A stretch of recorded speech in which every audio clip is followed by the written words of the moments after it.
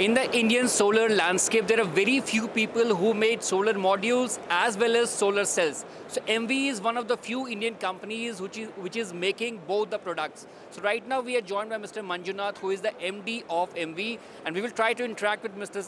Manjunath ji and we'll try to understand the market of solar cell in India. So, so after the reimposition of ALMM, we talked to a lot of solar module makers at REI and they said a lot of them are on the expansion spree. So what is your current capacity and what is your expansion plan now? Where you want to take up your capacity up to?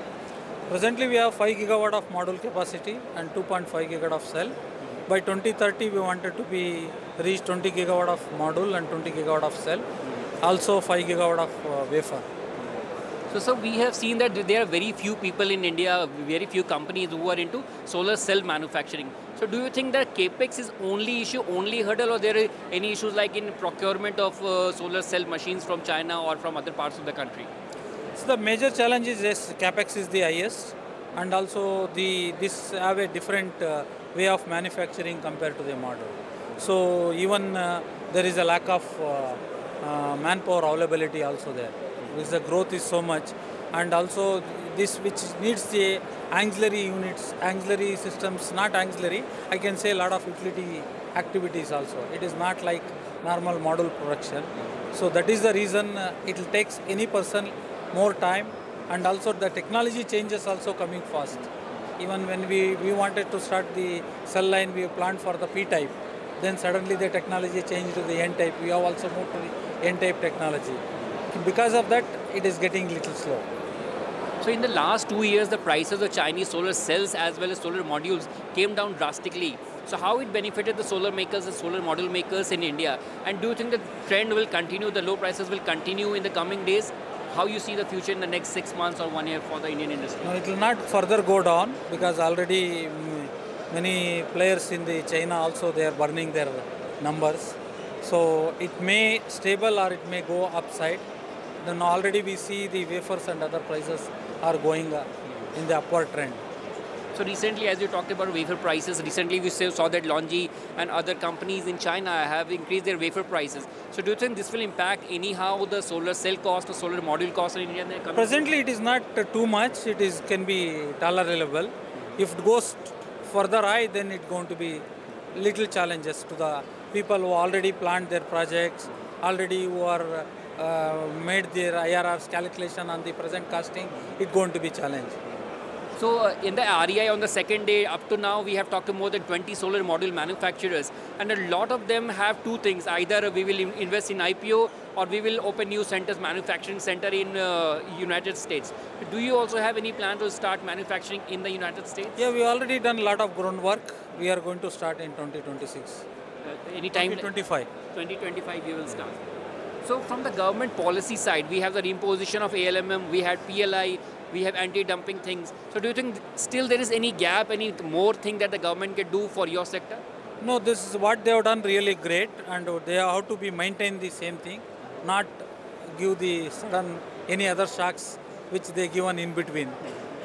So this stability of uh, Yeah. policy. Policy is very important. And also they want they are announcing the cell also ALMM that need to be done immediately. So what do you think the impact could be after the inclusion of uh, uh, solar cells into the ALMM? What impact it will have on the Indian No, this is this is already done, right? This is you remember about uh, four years back when they announced the ALMM. This is cell and module is there. The first they introduced the cell, uh, the module, and the, then later up on the cell has to be done. The even dates they have mentioned. Now the same thing they are implementing. It is not the new thing to the industry or to the world. So in the recent few years, uh, in this year itself, we saw that uh, you got very good sc- scorecard in uh, endurance testing and other thing that, that was done globally. I think Emmvee was the number one. Yeah, So what is the main reason that has made it uh, its panel strong enough and uh, globally recognized? This is called PVEL uh, Kiwa. is a US laboratory. They independently take up the modules from the factory uh, randomly and they test the all rigorous tests. So in that uh, Emmvee has been passed in all seven tests. So we are proud to say that uh, out of four in the world, oh, only one company in India we are the that test which is there. How it So became that, is, yeah. that that's mainly because of the material and the process and the technology what we use. So that uh, and the experience of 18 years in the solar PV module business that give us the result. So, sir, uh, most of the solar module makers are situated in Gujarat, mostly in Surat. You are in Hyderabad. Any specific reason? I am not in Hyderabad. We are in Bangalore, Karnataka. Uh, okay, so we have started from 30 to south. See, we are from 32 years. We have started our solar water heater business also in the Bangalore. So we have continued from our journey in the same place. We wanted to be grow in the not uh, not only one place, right? So this is also So, Indian solar industry has seen a lot of transition. First, there was polycrystalline, then there was monoperc, there is TopCon, and there is also talks about HJT. So, what is your plan? Have you phased out production of uh, uh, polycrystalline? Any plans for HJT?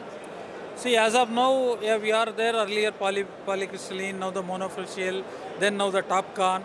HJT also we are producing the modules, but HJT cells and all, we it may take some more time. Presently, we want to concentrate more on the TopCon and the TopCo. So, after the launch of PM Surya, there is a mandate of DCR. So, that is a major issue now. So, are you in planning to increase the production of DCR cells?